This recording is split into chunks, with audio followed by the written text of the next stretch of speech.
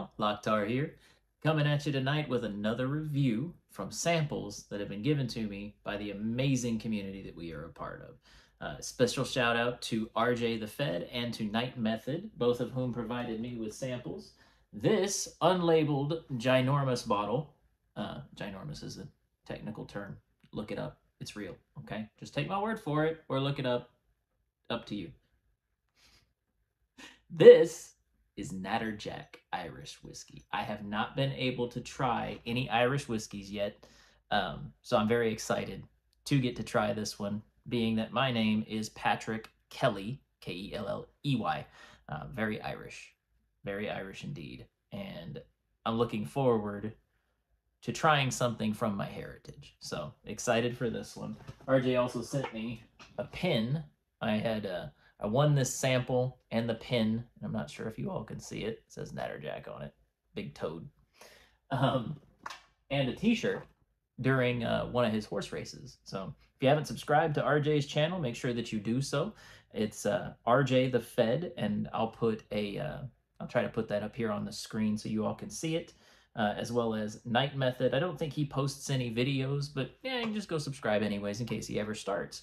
Uh, he's got quite a selection. Uh, that's where I got a lot of these samples from. Most of these review videos that I have done so far have come from Night Method's generosity. Um, so make sure go and support him. Appreciate what you all are doing here. And uh, I'm very much looking forward to uh, RJ is sending me more samples of other bottles that I've been looking for and things that I've wanted to try.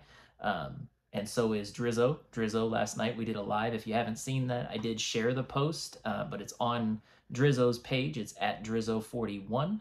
Um, a lot of good information on both of those pages. God, guns, bourbon, you name it. We're Texans. Guns are part of our religion. Sorry. Um, this is uh, going to be a fun night, to say the least. It's been a heck of a day. I have had quite a fun day. Uh, my wife uh, came home this morning, decided it's my day off. Let's go bourbon hunting. She actually suggested it to me. Never happens. She spent the day sitting in the truck or going into liquor stores with me.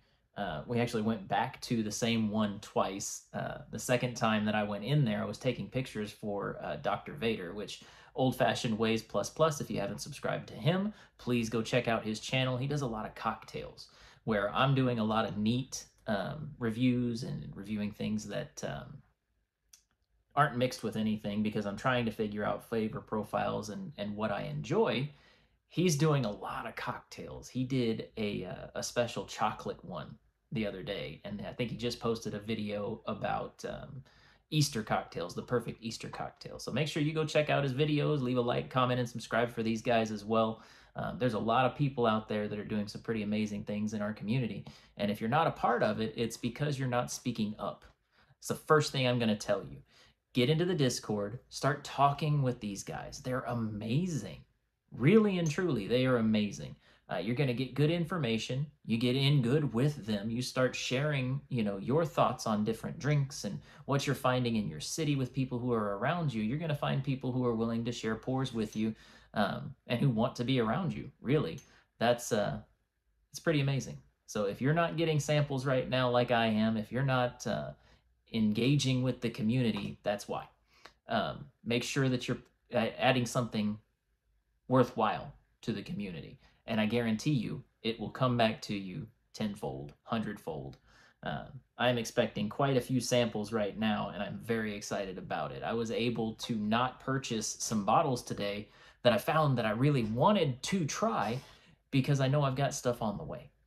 Um, so I get to try these before I waste my money. Well, or spend my money, I should say. I don't know if it'll be a waste until I try these bourbons or these whiskeys. But that's uh, that's a huge advantage of knowing people, of getting to know people, making friends, of the generosity that is being shown. Uh, for instance, Life on the Patio. If you haven't subscribed to those guys, go check out their channel. They crack me up.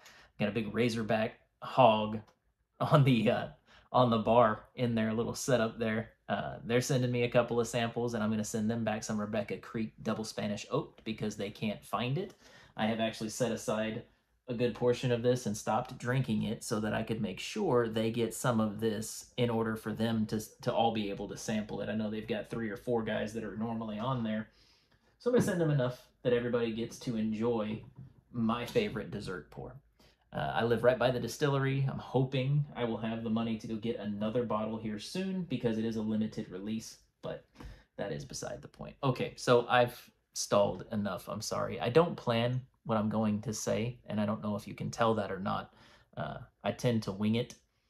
I do that on purpose because I think you get some more interesting things out of it than if I tried to plan everything. But I do need to get this into a glass so that I can start letting it breathe and start swirling it around. I'm going to do the Natterjack sample first because I don't know if y'all saw it, but if you look at the Discord, um, right outside my apartment, when my Natterjack got delivered, there was a huge rainbow. I mean, just crystal clear. You can see the entire thing in the picture that I posted. I'm Irish. Natterjack gets delivered, and all of a sudden there's a rainbow in the sky, and the storm starts to clear up. I think I'm supposed to start with the Natterjack. So that's what we're going to do. I'm going to use my Maverick Distilling uniquely shaped Glen for the Natterjack. And I've got my other Glen available for the Weller Special Reserve once I finish with this one. By the way, um, I know I've shouted out a lot of channels, a lot of different things. Uh, another one that I need to talk about is Major Xero um, and zero with an X, X E R O. I'll put it up on the uh, the screen as well. He just got a house, so celebrating with him and his wife. That's a big thing for every family when they finally get into their own home. He's building a bar right now. Everything's progressing. They're getting moved in, so he's not posting as many videos, but there's still a ton of content on his page.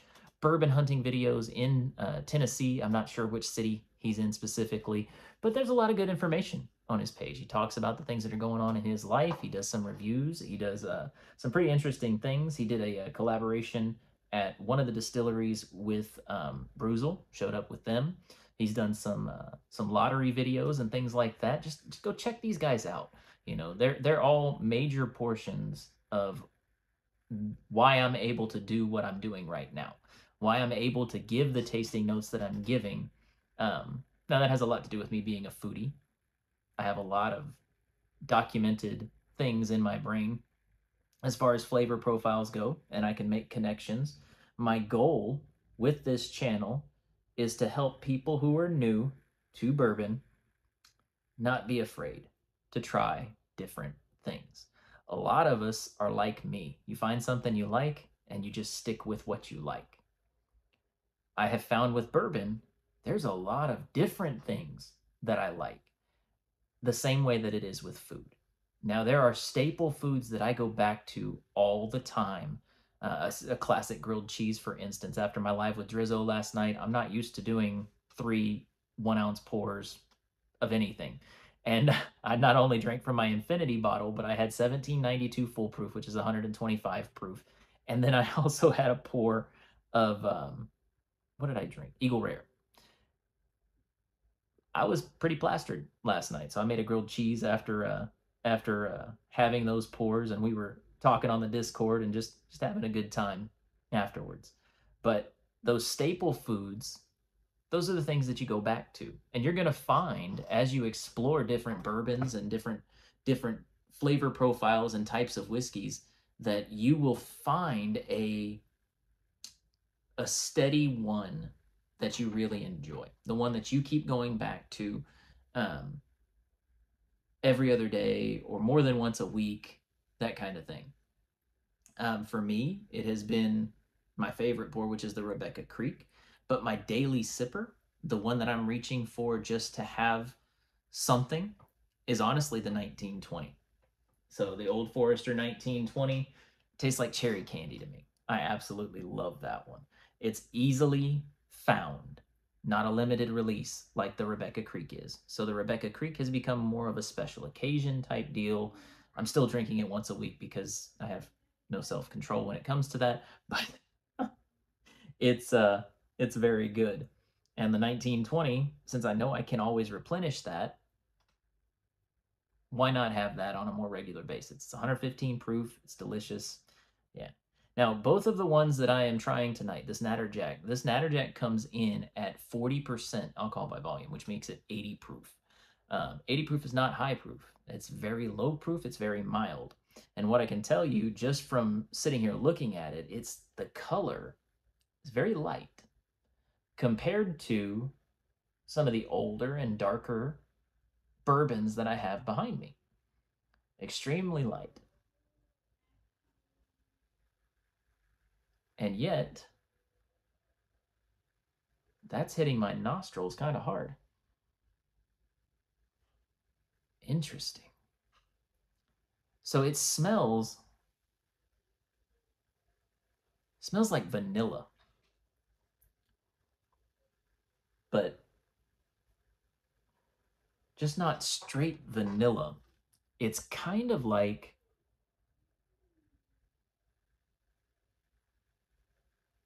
oh, how do I connect this for you all? If you took vanilla extract, peeled an orange, and put the vanilla extract on the outside of the orange, not the peel, but the orange itself. Because you know, when you open up an orange, that orange smell just kind of permeates everything. That oil starts getting released and it, it kind of fills, it covers your fingers, that kind of smell. Matter of fact, I don't know why I smelled my fingers. I have no, I don't actually have orange on my fingers, but I had this whole vision going in my head. Yep, so forget pouring it on the orange. If you were to just have vanilla on your fingers, like if you got vanilla extract on your fingers while cooking, and then peeled an orange, that's the smell that I'm getting from this. It's it's straight citrus, which may be why it kind of stings the nostrils. And then that vanilla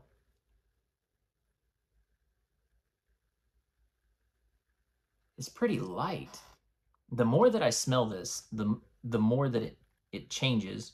I just spilled some. I haven't even had a drink yet, y'all. this is gonna be an interesting video to say the least. Ugh. Now my chair is gonna smell like alcohol. Yeah. Okay.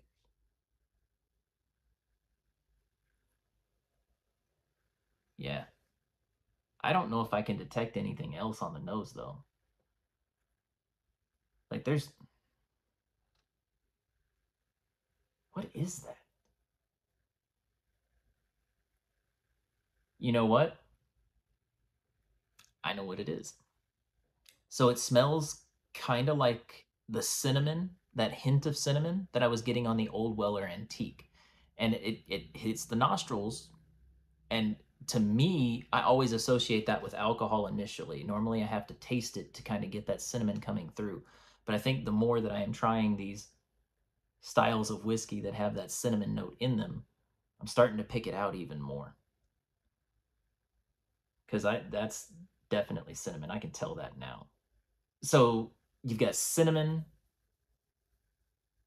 the vanilla, and that orange, which is not a bad combination. Don't get me wrong.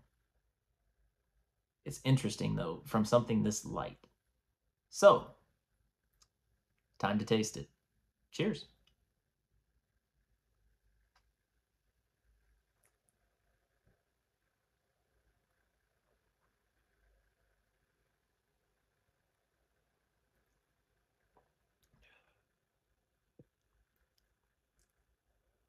Whew.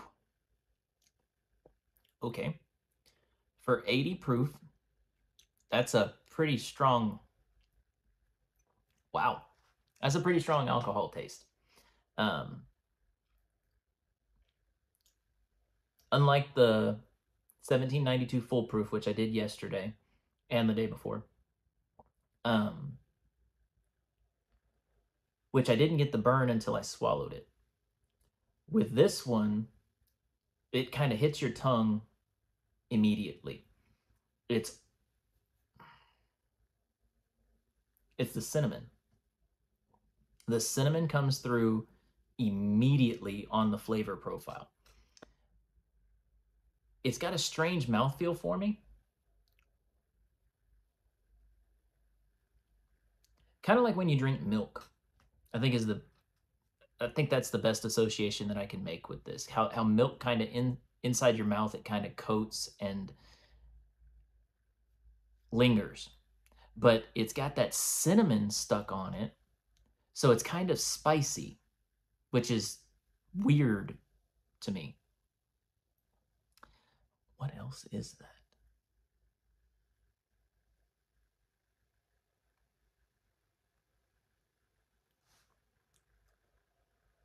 So I keep having flashbacks to the Jack Daniels 10 year. And I know I didn't like that one, but the my mind is making this association between the Jack Daniels 10 year and this one on the finish because it's it's like that tobacco note. Not like not like the Jack Daniels 10 year where I said it was like licking a wallet and then the tobacco on the finish. It's more like just tobacco, almost like you're in a room, you're not smoking a cigar, but somebody is. And the way it kind of hits your palate. It's a light smoked tobacco, is the best way that I can describe that. And then there's something, there's something else there. What is it?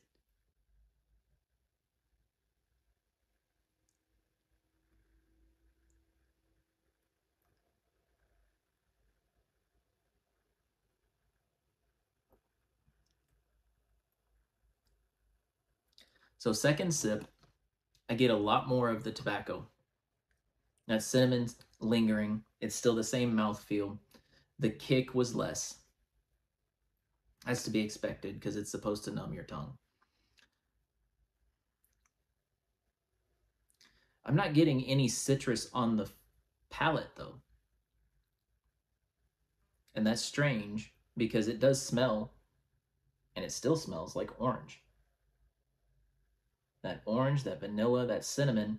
But on the flavor, all that I can pick up a light vanilla, very light, almost non existent, kind of like um, LaCroix, those waters, how they, uh, they say a flavor on them, and really all they did was they opened or they, they stored the fruit they claim is in this next to where the water was that's what their flavor profile should say. You know, transported next to bananas, transported next to limes. That's what should be on the can for LaCroix.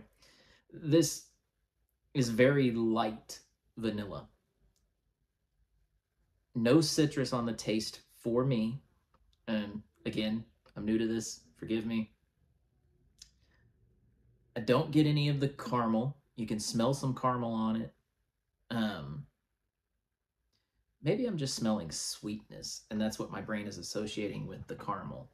But you can smell the orange, just can't taste it. It's really a lot of cinnamon, that light vanilla, and then that tobacco finish, which I, I have to say, I am not a fan of tobacco finishes.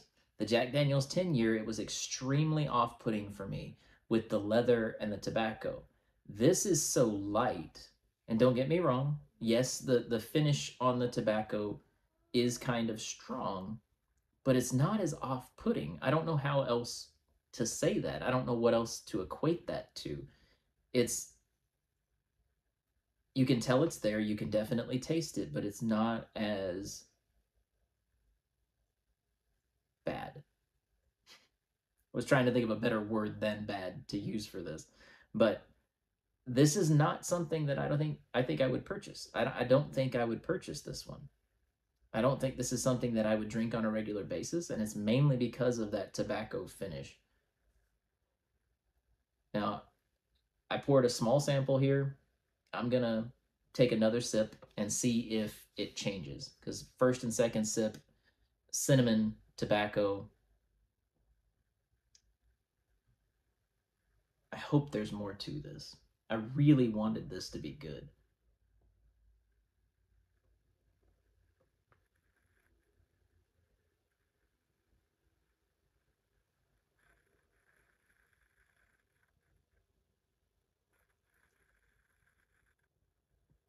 Okay, third sip. This took a little while. Third sip, I got the orange.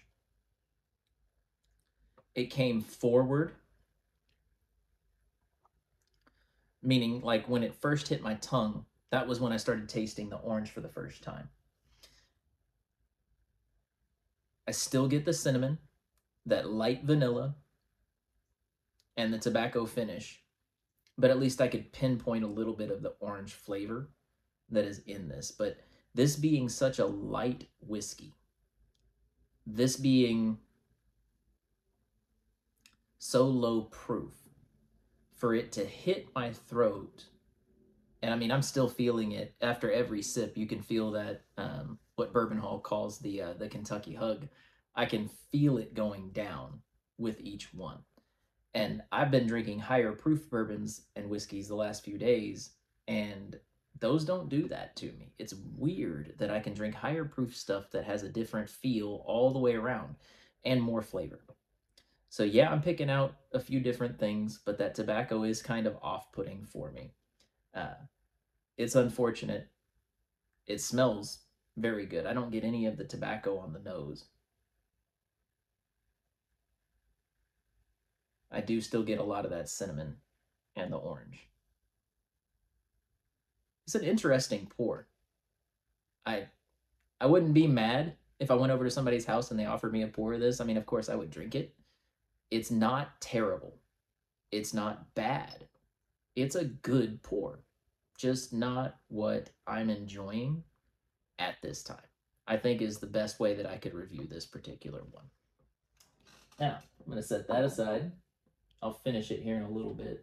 Oh, forget to put the cap back on this one.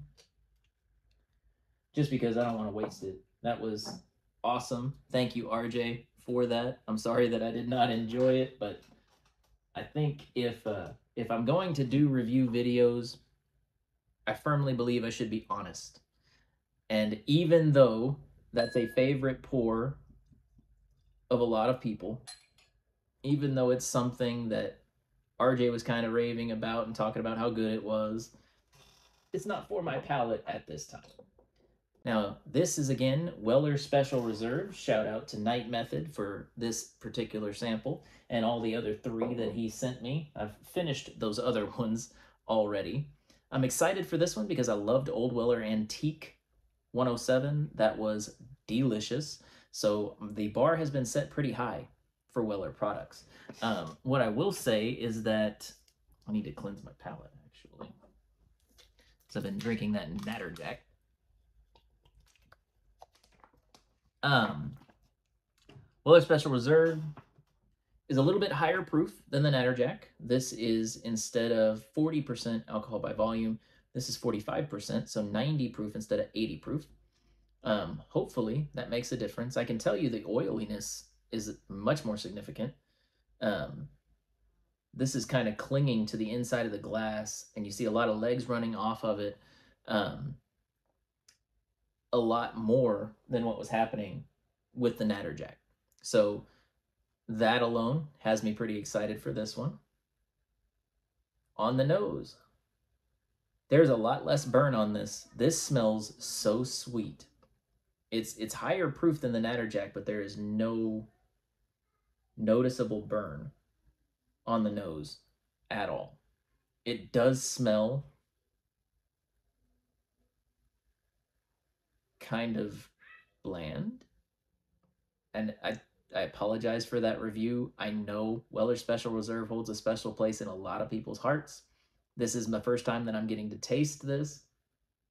But when I say bland, of course, I'm comparing this to higher proof bourbons uh, things that I have tried that have much more complex noses and different flavor profiles. Even the Natterjack, I, I got a lot out of that nose. It was much more significant versus this one, which is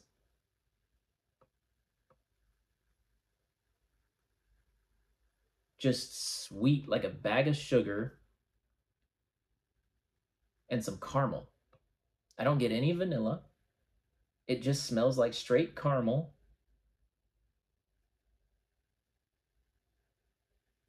Which by the way, that's all caramel is. Um, it's sugar that's been heated and combined with butter. That's how you make caramel. Just FYI, it's not that hard.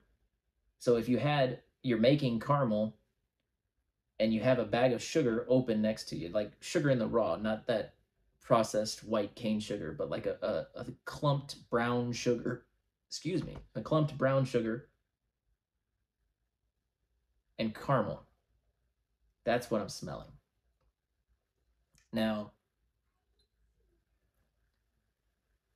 let's see how complex the taste is, though. I'm hoping that the taste is a little more complex than what this is smelling like.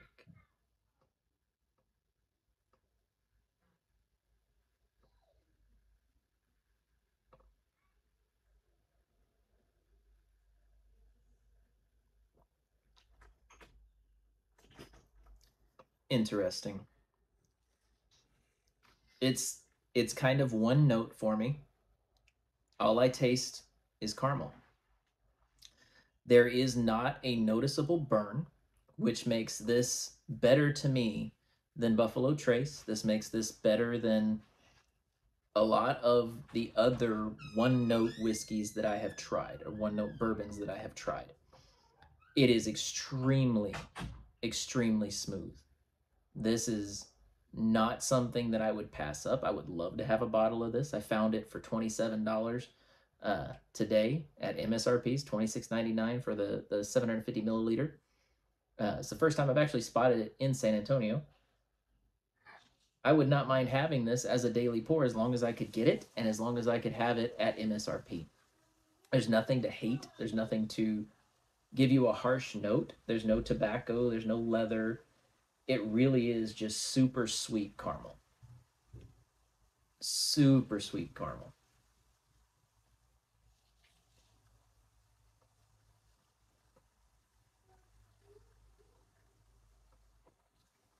Yeah.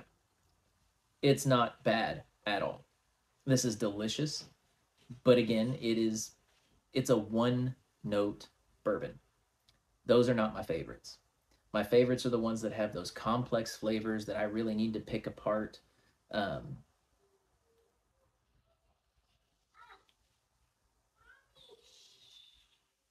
that's all I taste is caramel. Even on that second taste, I just, I will say I could reach for this on a daily basis. There, I see nothing wrong with doing that.